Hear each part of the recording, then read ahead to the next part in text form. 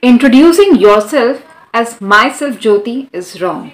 You should always say, My name is Jyoti or I am Jyoti. Myself does not look good.